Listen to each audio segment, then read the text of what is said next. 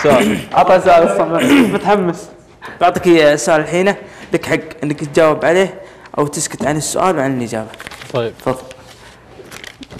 قصة يود مو سؤال.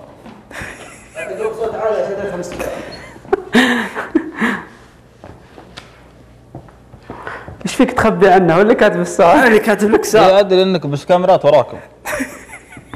شوف.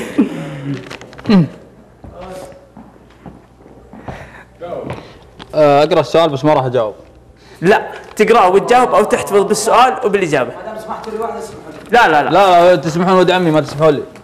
يلا يلا يلا ساعد تقرأ السؤال إيه. وتجاوبه أو تحتفظ هو بالسؤال. تقريبا الجواب في السؤال. خلاص.